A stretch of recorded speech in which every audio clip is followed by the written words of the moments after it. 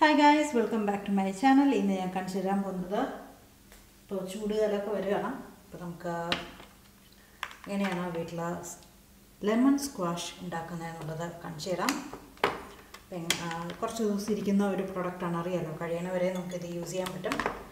അപ്പം എങ്ങനെയാണ് ഉണ്ടാക്കേണ്ടതെന്നുള്ളത് നോക്കാം.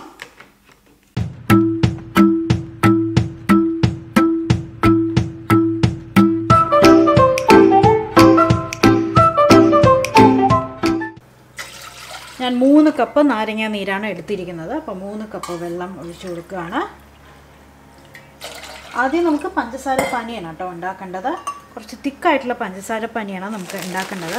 അപ്പോൾ മൂന്ന് കപ്പ് വെള്ളത്തിന് ആറ് കപ്പ് പഞ്ചസാര വേണം. അപ്പോൾ അര കിലോയിൽ ഏകദേശം നമുക്കൊരു രണ്ട് കപ്പാണ് അളന്ന് കിട്ടുക. ഇത് ഒരു കിലോയുടെ പഞ്ചസാരയുടെ പാക്കറ്റാണ്. അപ്പോൾ ഞാൻ ഞാൻ ഇതിലങ്ങനെ ഇട്ട് കൊടുക്കുകയാണ്. അപ്പോൾ ഞാൻ ഒരു കിലോ പഞ്ചസാര ഇട്ട് കൊടുത്തിട്ടുണ്ട്. പക്ഷേ ഇതുപോലെ നമുക്ക് ഇനിയും രണ്ട് കപ്പ് കൂടെ പഞ്ചസാര വേണം. ഈ കളറ് കണ്ടിട്ട് പേടിക്കണ്ട. ഇത് നാച്ചുറൽ ഷുഗറാണ് അതുകൊണ്ടാണ് അതും കൂടെ ഇതിലേക്ക് ആഡ് ചെയ്ത് കൊടുക്കുന്നത്. എന്റെ കയ്യിൽ കഴിഞ്ഞു.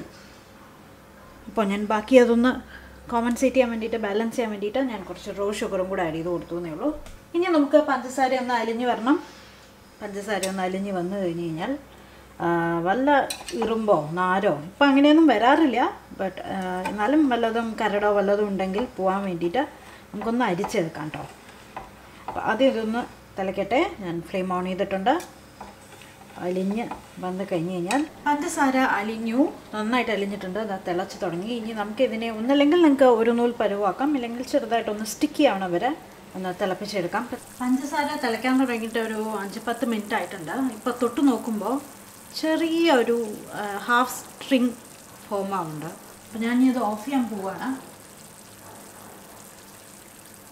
ചെറിയൊരു ഹാഫ് സ്ട്രിങ് ഫോം ആവുന്നുണ്ട്. ഒന്ന് ചൂടായി കഴിഞ്ഞാൽ സെറ്റാവും അപ്പോൾ ഞാൻ ഓഫ് ചെയ്യണം. ഓഫ് ചെയ്തിട്ട് ഇത് ഇളം ചൂടാവുന്നവരെ വെക്കണം അപ്പോൾ ഇളം ചൂടിൽ വേണം നമുക്ക് നാരങ്ങ നീര് ഒഴിച്ചു കൊടുക്കാൻ വേണ്ടിയിട്ട്. അപ്പോൾ പഞ്ചസാര പനി എങ്ങനെയാണ് ഏത് സ്റ്റേജിലാണ് വെച്ച് കഴിഞ്ഞാൽ തിളയ്ക്കുന്ന ചൂടില്ല. എന്നാൽ ഇളം ചൂടുമല്ല അതിന്റെ രണ്ടിന്റെ ഇടയ്ക്കാണ്. നമുക്ക് എന്തായാലും തൊടാൻ പറ്റാത്ത ചൂടുണ്ട്. ഈ ഒരു സമയത്ത് തന്നെ ഞാൻ നമ്മുടെ നാരങ്ങ നീര് മൂന്ന് കപ്പ് ഞാനിവിടെ പിഴിഞ്ഞ് വെച്ചിരിക്കുകയാണ് അത് ഒഴിച്ചു കൊടുക്കുകയാണ്. നിങ്ങൾക്ക് വേണമെങ്കിൽ പഞ്ചസാര പനിയൊന്ന് അലിയിച്ചെടുക്കാം. മീൻസ് അരിച്ചെടുക്കാം. അലിയിച്ചല്ല അരിച്ചെടുക്കാം. പക്ഷേ ഞാനിതിൽ വലിയ ഇമ്പ്യൂരിറ്റീസ് ഒന്നും കാണാത്തത് കൊണ്ട് അങ്ങനെ ഒഴിച്ചു കൊടുത്തു എന്നേ ഉള്ളൂ.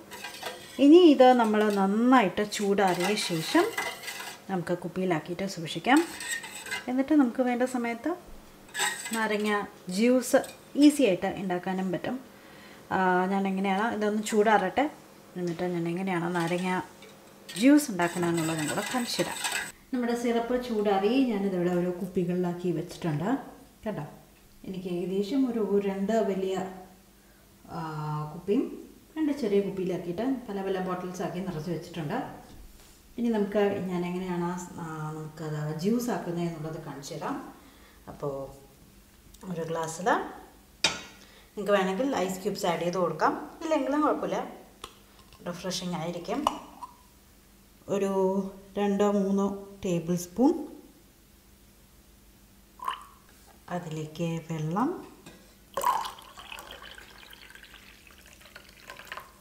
ഇത്രയേ ഉള്ളൂ. നമ്മുടെ സിറപ്പ് റെഡിയായി. ഇപ്പോൾ ഇതേപോലെ ഞാൻ എനിക്ക് ഒരു ഗ്ലാസ്സിൽ ചെയ്യട്ടെ? നിങ്ങൾക്ക് ഈ വീഡിയോ ഇഷ്ടമായിട്ടുണ്ടാകുമെന്ന് വിചാരിക്കുന്നു. ഇഷ്ടമായി കഴിഞ്ഞാൽ ലൈക്ക് ചെയ്യുക ഫ്രണ്ട്സിനും ഫാമിലിക്കും ഷെയർ ചെയ്യുക. ട്രൈ ചെയ്ത് നോക്കും. കുറേ ദിവസം ഇരിക്കുന്നതാണ് ഈ ഒരു സാധനം. അപ്പോൾ ഞാൻ വെള്ളം കഴിഞ്ഞു. ഞാൻ എടുത്തിട്ട് വന്നത് കുറച്ചുകൂടെ എടുത്ത് ഒഴിച്ചിട്ട് ഞാനിത് കുടിക്കട്ടെ. നിങ്ങൾ ഉണ്ടാക്കി നോക്കി ഉണ്ടാക്കി നോക്കിയിട്ട് അഭിപ്രായം പറയൂ കേട്ടോ. Bye bye